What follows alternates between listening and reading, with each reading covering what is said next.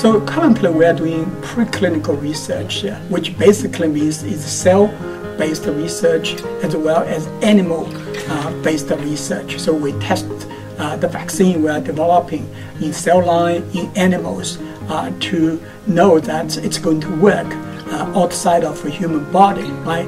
The, then the next step uh, certainly is going to uh, try this vaccine in, in human. Um, we expect that uh, we will uh, get our animal result very soon. Uh, if everything goes well, we hope our vaccine can get into human by June, July. The technology platform Hong Kong U is using is a flu uh, vaccine based. So uh, this uh, platform uh, was used in the past uh, in our laboratory to develop a vaccine against the SARS uh, as well as a MERS. So we saw the very good result in the past. That's why we are pretty confident this time it's also going to work.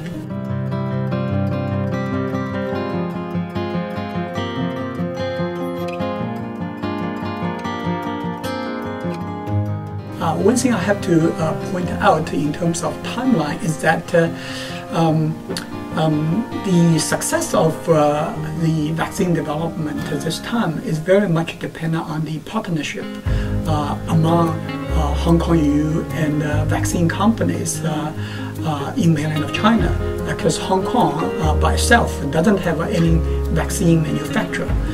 so one particular difficult or challenge we have is to share uh, biological materials with our partner in mainland of China.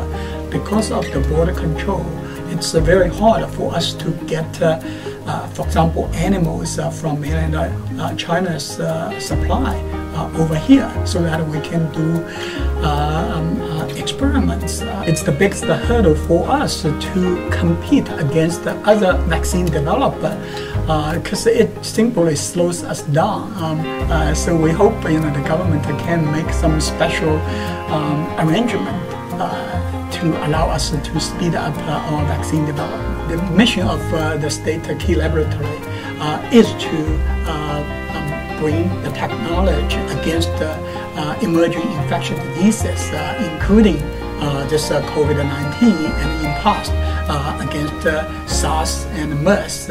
we view any um, effort to contain emerging virus or bacteria are our uh, responsibility. Uh, that's why uh, we feel that we have to act very quickly and decisively